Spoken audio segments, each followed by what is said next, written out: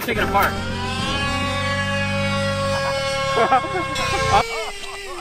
you can do it.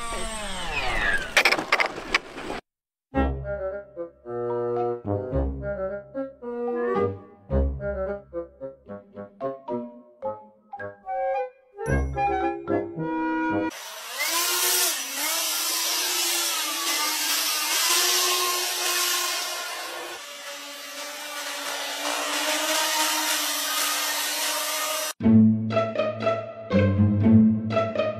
thank you.